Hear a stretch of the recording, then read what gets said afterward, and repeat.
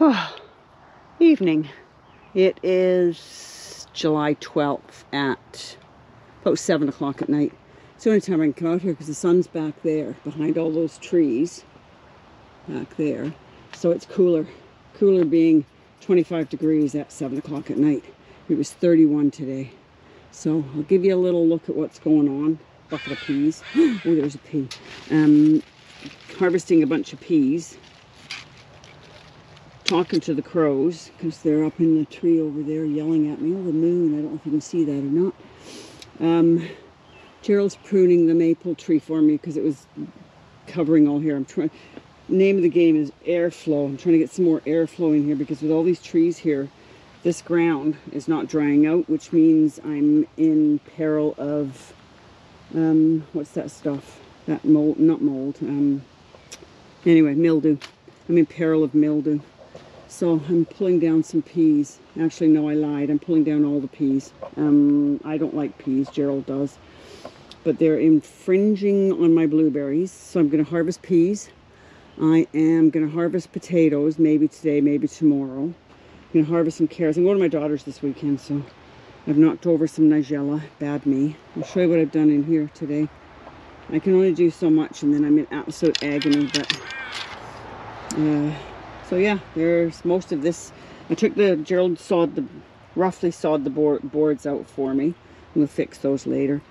I've dug out down to almost ground level, which is what ground level was originally. And that's got, um, God, I can't even think today. I'm so hot.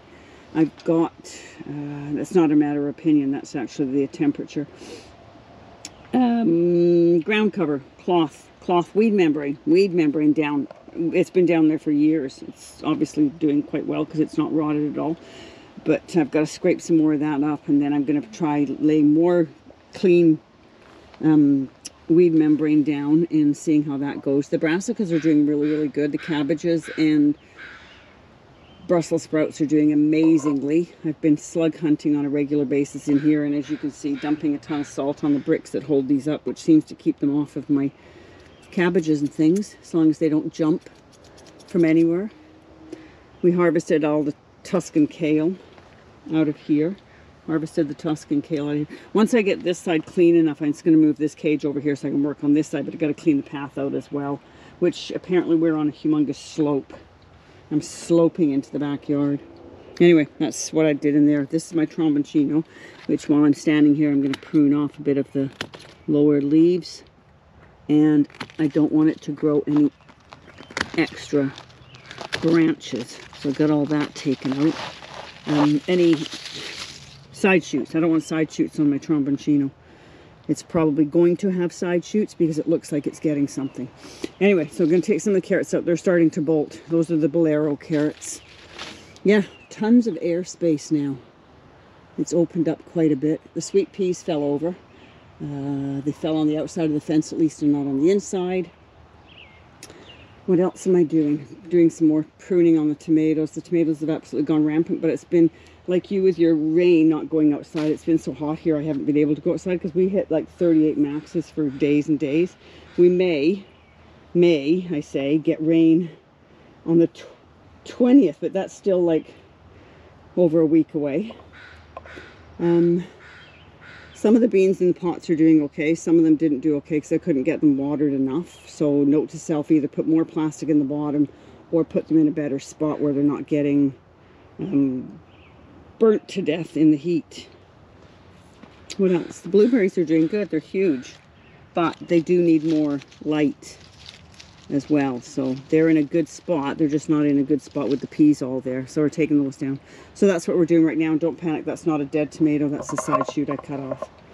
I wanted to show you, I cut some of them off when I'm doing side shoots, but I wanted to show you the quickest way to do it so you don't have to do any of that is, this is a obviously a side shoot, which I didn't get around to.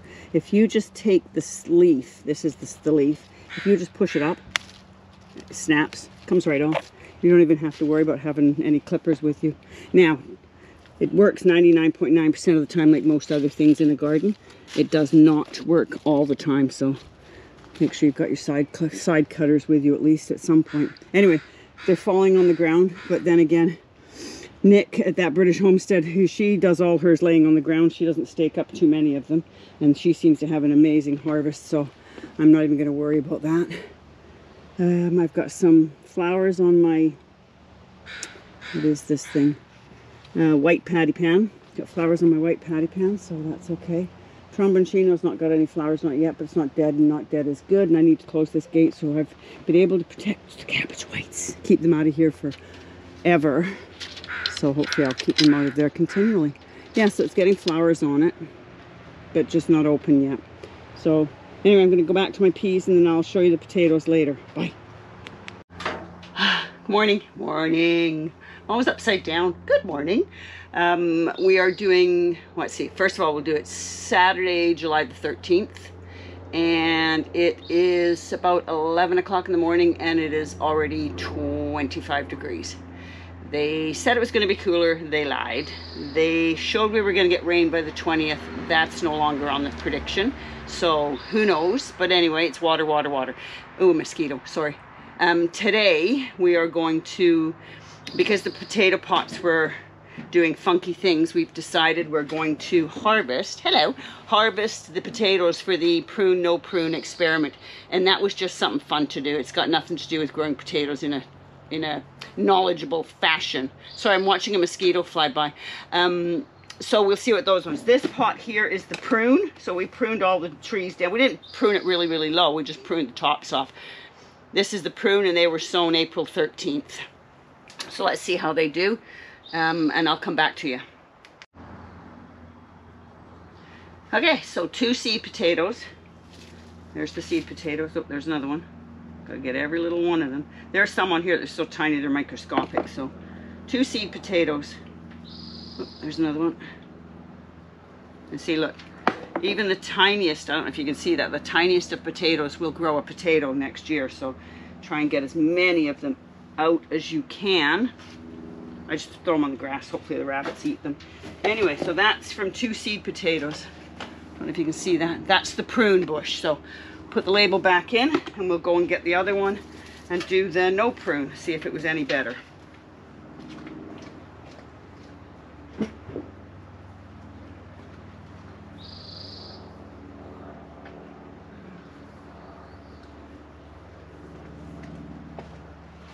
Okay, here's the no prune. Pot size, no idea. And like I said, this was just for fun. April 13th, same date, no prune label. Two seed potatoes, oh sorry, um, two seed potatoes, same all-purpose fertilizer, same watering conditions, same everything. Everything was the same. Same, same, same, same again. Okay, so this one actually was bursting out the sides of the, I mean, look at that. Can you see that? Woohoo! Pink potatoes. I love red potatoes. Anyway, let's get these off here and see how they did.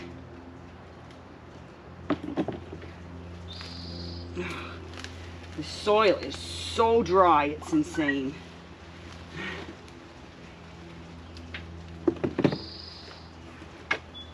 And already they're looking better than the no prune ones, or the prune ones, because the potatoes themselves look bigger. Like I said, the conditions were exactly the same. I tried to emulate the same thing over and over when I was doing it, so that nothing was different. And the reason I did this was just something to do. I just like having fun in the garden. So, yeah, this one's already way better. And somebody said it probably would be, but hey, if I did everything I was told, I'd never have any fun, would I? Okay, that's not a potato. It's very dry, like I am constantly watering. Thank God we don't have water restrictions for vegetable gardens yet. Yet, I say, because I'm sure they're coming. Okay. Oh yeah, lots of baby ones. We like little potatoes. They're great, just roasted with garlic and olive oil and eat them whole. Yes, I mean, I don't know if you can see how dry that is, and I just watered them yesterday, but everything's just drying out like crazy. Anyhow, let's see, I think that's all of them on that plant. Yeah, and there's some more babies there. Try- Hang on, I'll be right back.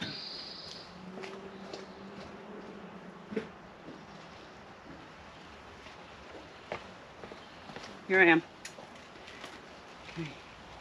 I'm just chucking the little babies out to the birds and the rabbits and the whatevers that want them. Oh, there's another potato. I think that's, that's, other than that, there's the one seed potato. And funny enough, it's got more shoots coming on it. And lots of teeny tiny babies. I mean, I could probably put this back in the ground and grow more potatoes. That's, hey, that's a new experiment we could try, right? But I need these pots for my cucamelon, for Freddy's cucamelon challenge. So that's it, I think, on that one. So yeah, not much difference. These ones are a bit bigger, but let's go get the other one and we'll put them side by side.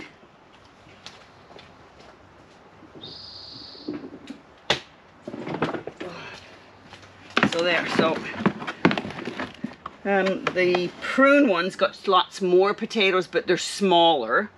The no prune ones got a few more bigger ones, but all in all, no difference whatsoever. So if you need the space and your potato plants are taken over, just give them a tiny little trim. Trim the tops off. Seems to work okay for me.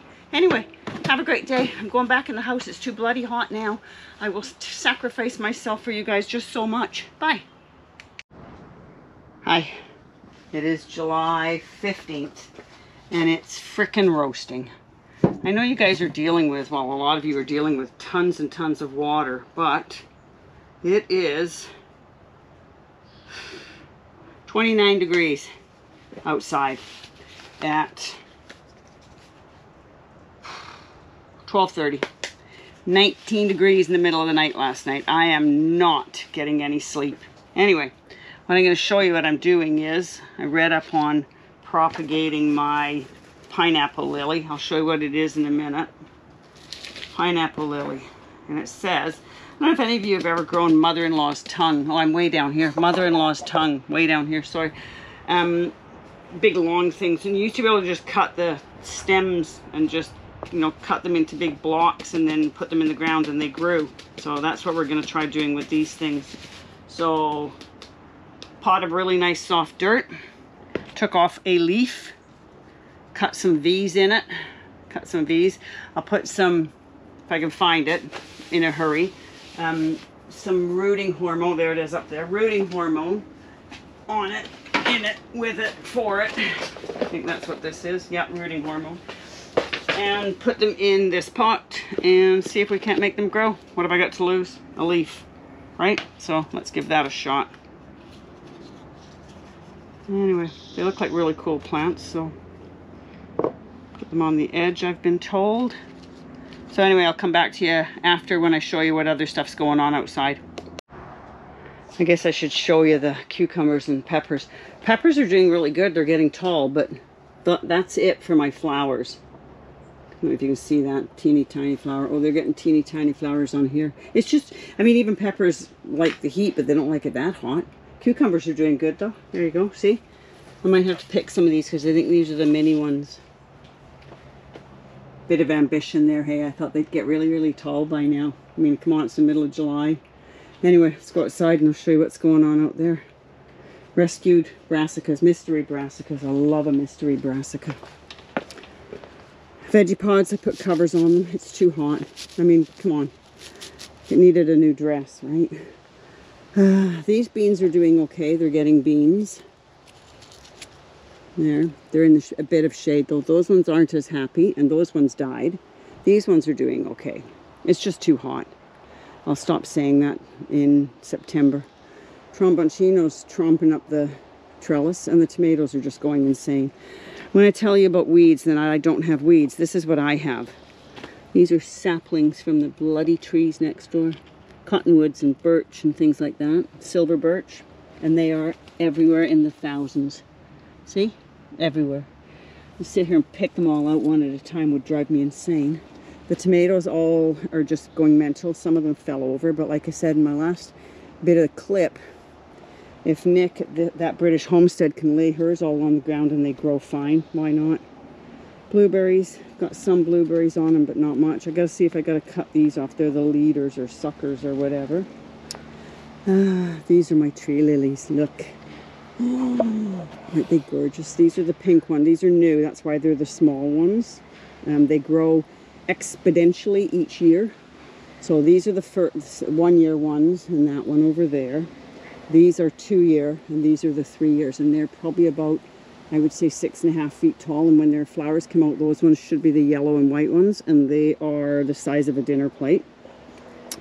Still working on this cage in here but still taking dirt out. Gerald's bought me new wood for all around. We went and did that yesterday. I got to get all that black. I don't know if you can see it. All that black stuff is um, mare's tail roots. It reminds me of those dangly things on uh, War of the Worlds with Sean, Tom Cruise. You know, when they come out of the spaceships. Brassicas are doing good. They need another water. What am I going to do, like temporarily? Oh, my cabbage is hardening up. Look at that. Ooh, exciting times. Um, they're doing really well in here. They're not uh, being pestered by much of anything but they do require constant attention and water. So what we're going to do is empty out all this side, get the wood around that side, then move this whole contraption to that side so I can work on digging that part out. So this is a giant work in progress. And all that's going to be in there is the brassicas for this year. We'll see how that goes. Tromboncino, like I told you, is doing fine. Flower bed's doing fine. This is my new um, astilbe. It's a dark leaf astilbe with, I think it said it's got pink flowers, but I'm not sure. I'll show you later. It's over here. Took all the peas down. They were taken over, and Gerald's the only one that eats them. I have one or two tomatoes on my tomato plants, I think, but I've got lots on the patio plants, the little mini ones. They're doing really good. I, like everybody else, have got plants with leaf curl, and I have no idea why, because the one on this side's got leaf curl, the one here doesn't. Same soil. So I don't know what to tell you. Crocosmia. I told you, crocosmias are like potatoes. You leave one tiny crocosmia in the ground, and you will have them again and again. So I got to mark those and try and pull them up next year. I don't want crocosmia in this bed. Um, they just are invasive and they take over. I've got to harvest some broad beans they're doing really good. And the Greek Gigantes, the one and only plant that I had, is happy to romp away by itself. And the Purple Queens over there are doing okay. They've got very few flowers on them yet, but I've had a lot of leaf and not leaf, um, flower drop from the heat. It's supposed to get up into the mid 30s tomorrow. So these are the plants I bought myself yesterday. So this, oh, here's the, this is the Astilbe. It's dark side of the moon. I keep all these labels so I can look at them later. This is the pineapple lily. It's from, it's an African plant, crowning glory, and it gets a real tall spike on it. Um, it likes lots of drainage and drainage, drainage. Is that like Danish? Um, it likes lots of drainage and heat, so it'll love it here at the moment. And this is Starship Rose, a Cardinal Lobelia Special la la la la la la la la la la la la la la. So I'll be putting that in the perennial flower bed. I'm trying to do more perennials and less work. What else? My white calendula needs water. I'm out here watering every day. My one lone apple is still hanging on. Thank you, Elaine, at Allotment Joy. I did give it some feed, but it also needs more water. Gerald cut the huge pallet in half for me, so I've got a bit more of a spread here. Cucamelons are doing okay. They're liking the heat. They love the heat. I don't like cucamelons. Gerald does, but that's okay. He can he can have his fun little things and see there's lots of cucamelons on them. Peanuts are they're growing, not dead. Not dead is good. And this is my one and only surviving pongo bean from Bill and Val. And yes, Bill and Val are doing very well. They're just taking a break from social. Um, blah, blah and blah blah. Squash. Uh, la la la la la. Romanesco, because those ones are zephyrs. I showed you those last time. they've got lots of little things on it, but this is the weirdest thing ever. I'll put still pictures in if I can get under here. This is my new Vegepod. Yes, the girl has an addiction problem. Um, but it's better than crack, right? The flowers are like they've got like a leaf curl on them. They're not opening up properly. But one of them had like a twin. I'll put the, like I said. Sweet peas are doing really good. And apparently the larkspur that I just chucked in here, a seed, is all coming up. It looks beautiful, doesn't it? Anyway, not much else going on. This is my yellow raspberries. I did not realize it would be like a humongous tree. Oh my god, look at that tiny little poppy. Girl distraction, girl distraction. Yeah, so lots going on, not lots going on, if you know what I mean. Anyway, I gotta go in, it's too hot. I came out to do that leaf thing and to, I don't water it this time because it just is too hot. The hose pipe is like I could wash laundry in the hose pipe. It's got such hot water coming out of it. So I always have to empty the whole hose pipe out before I water anything. Um, got to find some place for those. That one, because it was a really expensive one, it was $25. um, I will have to put on the patio for now until I can get it established. And what else? Brassicas over there on the wall. They were in that cage, but I took them out because they were getting too dry because they're in smaller pots. The black lilies have come back with a vengeance. And yeah, too hot. Way too hot. Can't stand it. It's not even August yet. We are in such deep doo-doo. And I did show Gerald pruned the trees for me, which seems like a stupid thing to do when you need all the, the shade in the world, right? But it was stopping everything down here from drying out because there was no, like you can actually tell there's light in here now. So anyway, that's it for this uh, video. I'll post later. Haha, it takes me two days to get them posted.